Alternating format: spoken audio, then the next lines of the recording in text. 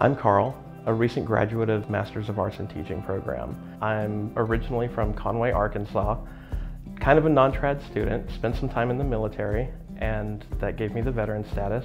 Joined the Army after my first degree in economics, and then did about 10 years of service there. The reason I went back to school was I ended up on the Oregon coast in a little area called North Bend and Coos Bay. And what I found was there's not a lot of jobs there. So substitute teaching was one of my options. I realized that it was a really underserved area and really hurting socioeconomically. And that was my push to become a teacher and to kind of help out in underserved areas of Oregon. There were two really big barriers when I thought about returning to school. One is I have a family, and the second one was the financial burden of coming back to school. One of the things I was worried about was how is a small school going to handle my veterans benefits? It was flawless here.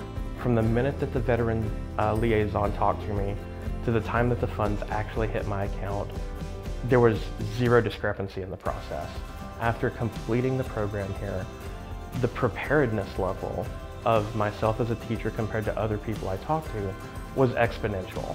Before I had even graduated, I was hired on full time at a local school. So one of the things that I definitely want people to know about is the almost family-like atmosphere. And it's not just they're going to do whatever they need to help you graduate. They are actually going to care about you.